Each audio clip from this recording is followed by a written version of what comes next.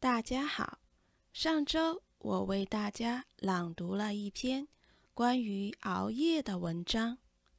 熬夜通常是指为了工作或学习睡得非常晚。今天我要读的文章也和睡觉有关。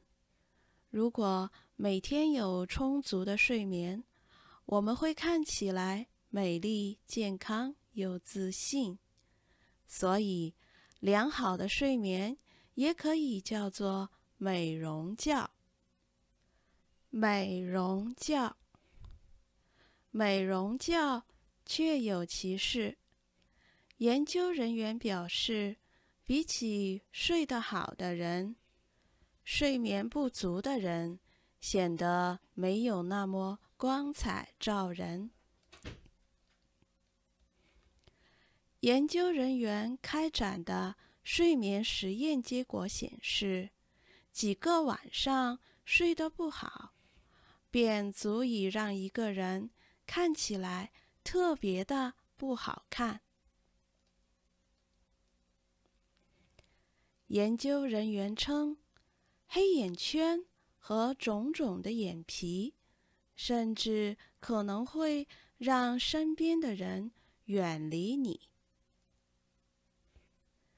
当人们表现出疲惫相时，素不相识的人会认为他们的身体状况不佳，且不是很好接近。研究人员请二十五名大学生参与了睡眠实验，其中有男有女。志愿者在参与实验后可以得到一定的报酬。研究人员向他们各自发放了一套工具。让他们带回家。这套工具会通过测量他们夜间的活动，以验证他们没有说谎，在原本不会睡觉的时候进入睡眠状态。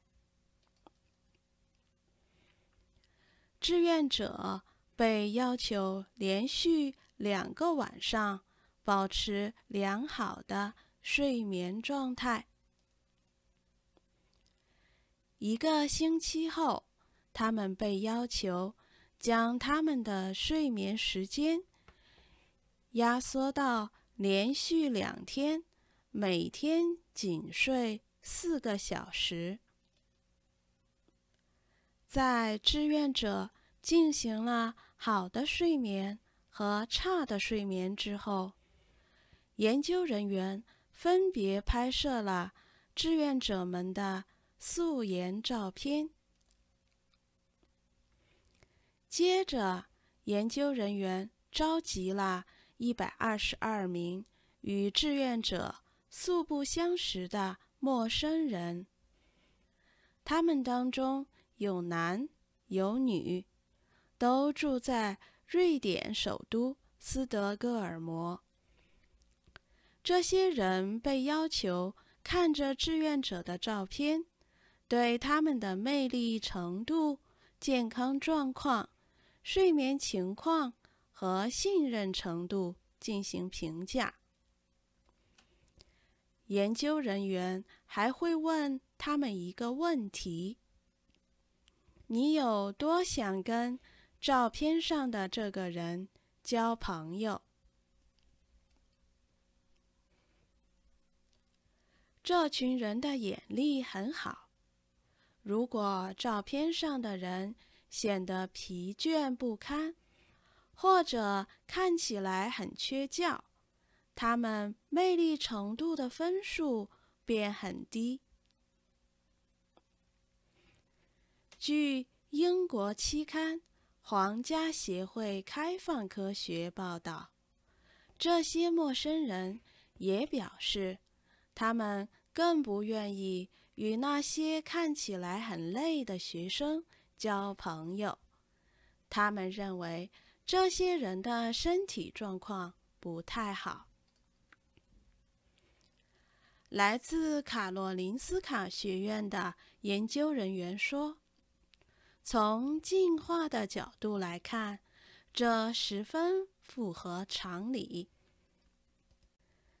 一张看起来不健康的脸，不管它是由于睡眠不足，还是其他原因导致的，都可能会激活其他。”人身体内躲避疾病的机制。换句话说，人们不想跟可能患病的人待在一起，而那些看起来活力四射、身体健康的人则魅力十足。首席研究员迪纳·孙德林博士补充道。我不希望这些实验结果让人们担忧或者睡得不好。偶尔睡得不好没有关系，大部分人都可以恢复得很好。盖利·布鲁尔博士是利物浦大学的一名心理学专家及英国心理学协会成员。他说：“对外表魅力程度的评价往往是无意识的，但是我们一直都在做这件事。我们能够从一些很小的细节，比如说这个人是否疲惫或者是否健康，来对他人进行评价。我们希望。”我们的伴侣看起来魅力十足，充满活力。这个研究对我们来说是一个很好的提醒。它告诉我们睡眠是多么重要。That's all for today. The transcript and the text are available on my blog. Happy learning, my friend. I will see you soon. 再见。